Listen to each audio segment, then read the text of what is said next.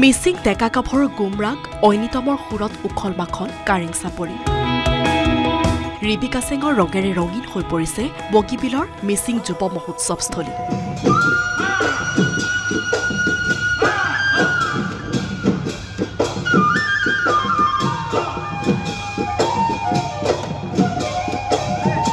চিলাপথাৰ কাৰেং চাপৰিত কালিৰে পৰা আৰম্ভ হোৱা নৱম বাৰ্ষিক মিচিং যুৱ মহোৎসৱৰ আজি দ্বিতীয় দিনাও ব্যাপক জনসমাগম দেখা গ'ল।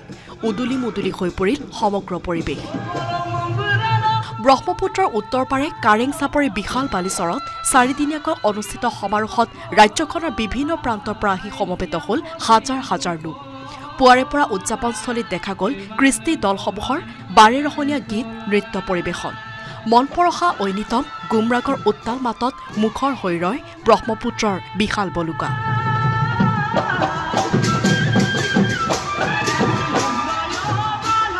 অনুষ্ঠিত হ'ল গুমৰাগ ঐনিতম লত্তা চবান লেৰেলি চবান ডুমডুম মনকা মৃণ চুনাম আদি জনগোষ্ঠীয় গীত আৰু নৃত্য।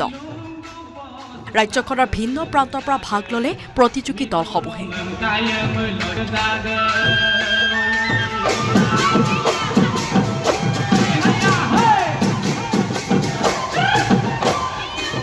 আনহাতে যুৱ মহোৎসৱলৈ অহা ৰাজ্যৰ প্ৰায় দহ হাজাৰ প্ৰতিনিধিক তৃপ্তিৰে মাছে মঙহে এসাঁজ খুৱাবলৈ ৰান্ধনীশালত প্ৰায় তিনিশ লোকে দিনে নিশাই কৰিছে কাম কাজ ষাঠিটা চৌকাত কৰা হৈছে ৰন্ধন।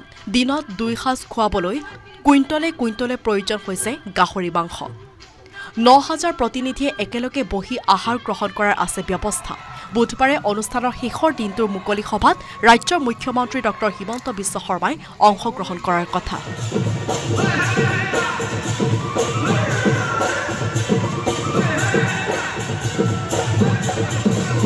ধেমাজিৰ পৰা বন বিকাশ বৰগোহাঁইৰ report news eighteen Assam north east.